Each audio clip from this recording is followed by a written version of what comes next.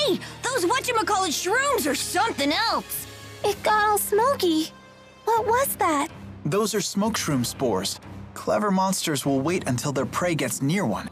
Then they'll hit the smoke shroom with a rock and take down the prey while its eyes and nose are clouded with spores. And for its part, the smoke shroom gets to spread its spores over a wider area. When life forms help each other like that, it's called symbiosis. Oh, okay. You're so smart, like one of those monsters you talked about. So, does that mean people and spirits have symbiosis too? That's right. Humans give mana to the spirits, and the spirits use arts to help people. It's a perfect example of symbiosis. Well done, Elize. Thank you. That's incredible! Ellie's the smartest of all!